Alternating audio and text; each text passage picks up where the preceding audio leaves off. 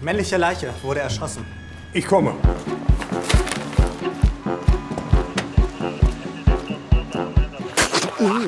Der Kaffee schmeckt ja vielleicht scheiße.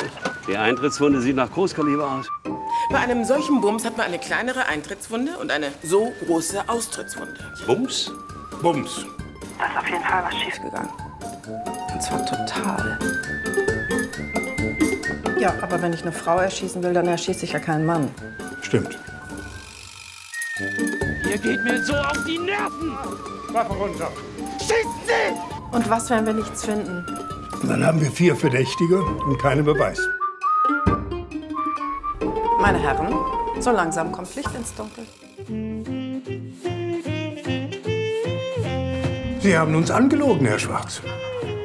Ich weiß, was Sie versuchen. Sie wollen mir den Mord anhängen.